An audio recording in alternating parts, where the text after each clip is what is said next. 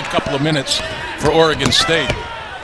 Driving right to the rim is Gabriella Hanson. Experience to give you that confidence. You got to get in the gym. There's a nice finish by Aaliyah Gibson.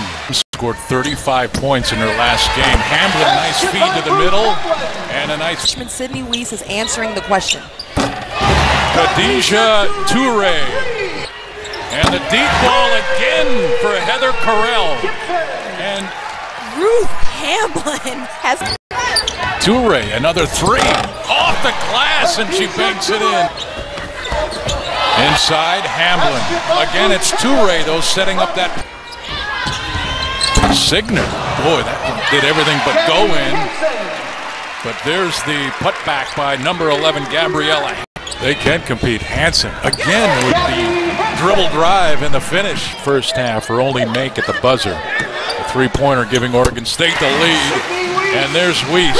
First half for Washington. And that is an important bucket, possibly for Oregon State. Weiss Oregon State with a two-point lead in the ball. This is Orem. Turn around. Kick to the corner. Gibson for three. class. Hunter. Last couple of possessions, she's been very aggressive outside. Nice catch by Gibson. And the finish. We Five blocks.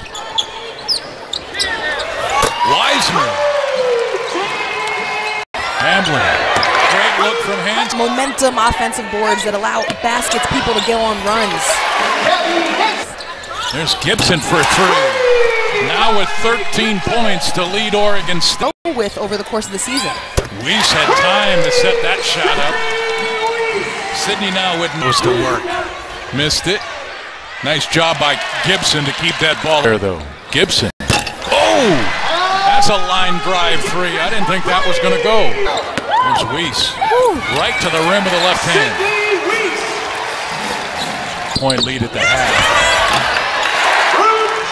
Is now 14.